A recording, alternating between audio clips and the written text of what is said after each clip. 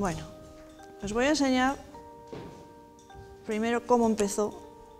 Esta es la página web de la clínica veterinaria que tengo. Y aquí empezó a liarse todo, ¿no?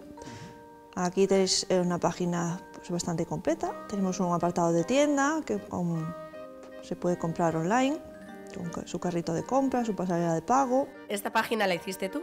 Esta página la hizo un profesional, no la hice yo. ¿Y por qué te dio por tener una página web?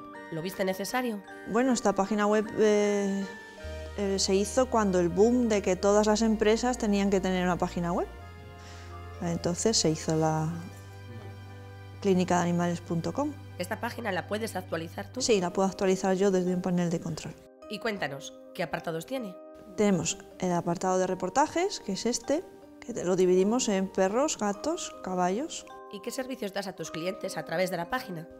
Desde la página es, es comercio online y avisamos de pues, co- cuando fue lo del microchip, cómo se debe de implantar el microchip, eh, desde cuándo es obligatorio. Casi todo lo que sea en prevención hay algún artículo en, en la página. ¿Y captas clientes con la web? ¿Recibes muchas visitas? Los clientes de clínica son clientes de cercanía.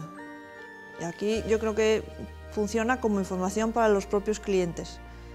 Pero no me va a venir alguien de Valencia a la clínica porque tenga la web. Sí puede comprar desde Valencia, desde desde la tienda, y de hecho sí vendemos a, a toda España productos.